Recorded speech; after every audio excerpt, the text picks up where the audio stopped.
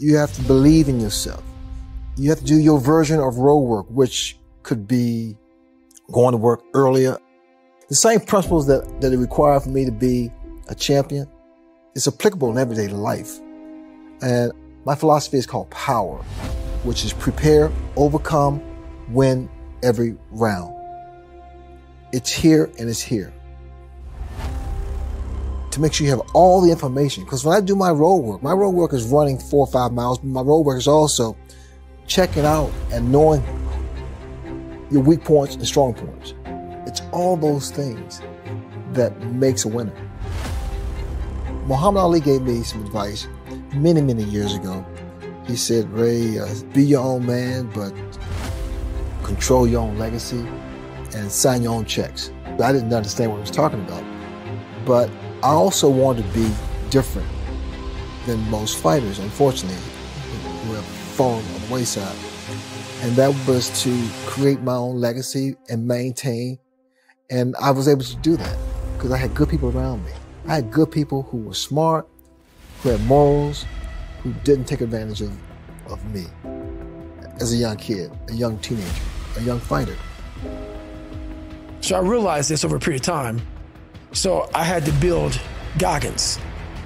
And in that process, I had to go back to that mental lab.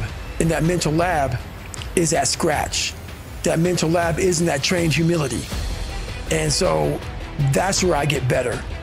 I get better when I'm digging holes in the ground, when I'm waking up early knowing I don't have to do these things. That's where I get better. They think it's a permanent fix. They think it's something that that is a constant. They think that maybe once I get it, I'm gonna hold on to it. Nothing is permanent. Nothing is permanent. And a lot of times you have to learn to perform without motivation. You have to learn to perform without purpose. You have to learn to perform a lot of different things. And that's what people think. They think I need to have this motivation to work out, to study, to be better.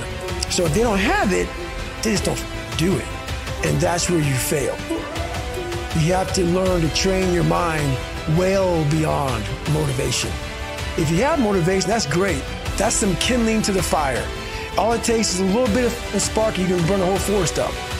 But motivation, you have to learn to exist without it. You have to be your best self when you're least motivated. And that's the tricky part about all that. Motivation is just a word. You have to have these different things in your mind on where you want to go and know that motivation is not going to get me there. Because I'm not going to always be motivated.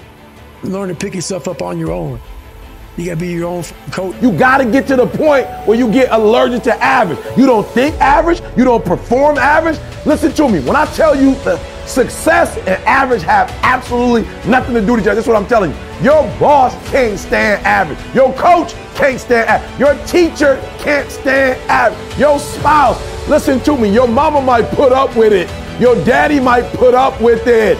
But listen to me very closely. Nobody really likes average because average attracts average. You can't help it that you suffer from ambition. You can't help it that you suffer from trying to be great. You can't help it that you suffer for trying to go to the next plateau. You can't help it that every fiber of your being, every fiber of your existence wants to win. You can't help it that you suffer from a severe case of aspiration, purpose, and dream chasing.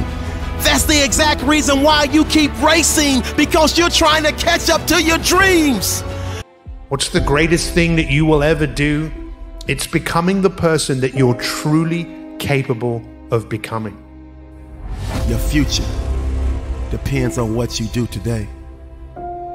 The best way to predict your future is for you to create it. Lifestyle change, then what we see in our head will become our reality. When you shift your paradigm, when you shift your thinking, only then what you see in your head, you will hold in your hand. A great life, it doesn't happen by chance. It happens by design.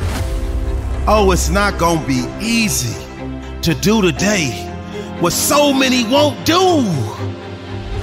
And I promise the future you will love you for it.